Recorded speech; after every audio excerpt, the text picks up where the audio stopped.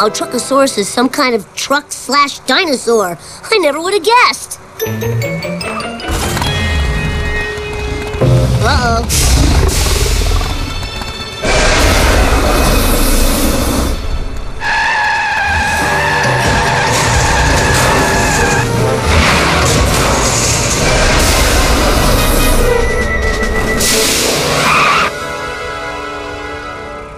Yes! Everybody to the Bartman!